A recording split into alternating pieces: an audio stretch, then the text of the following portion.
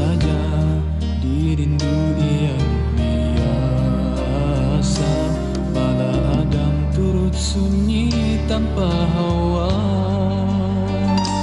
Akan selipis bila lahan rambu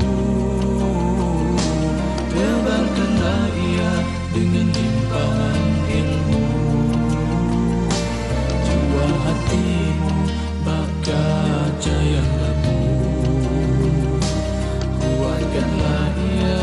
Di 娘的骨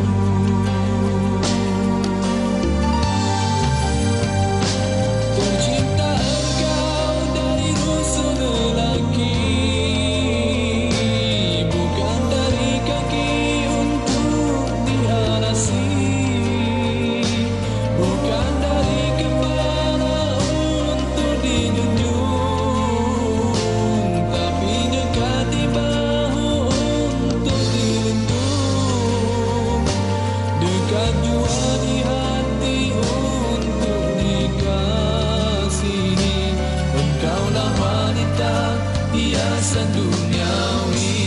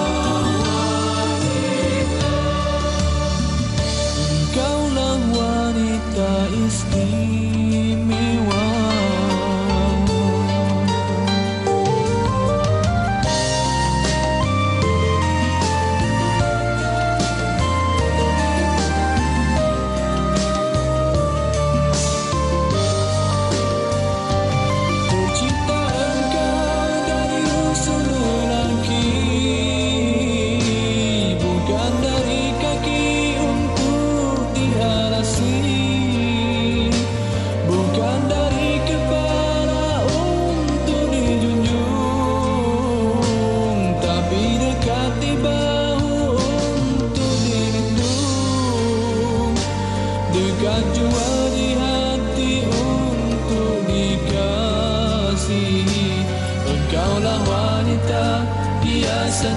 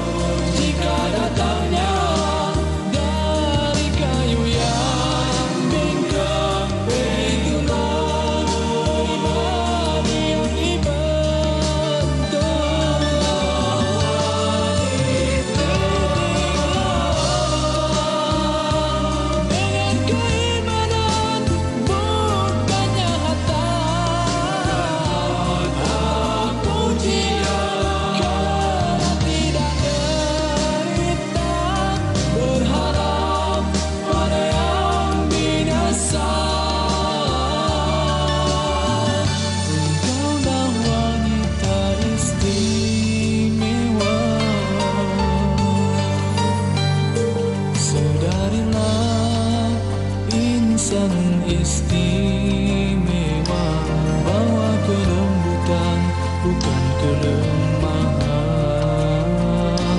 Bukan jua penghinaan dari Tuhan bahkan sebagai hiasan kecantikan.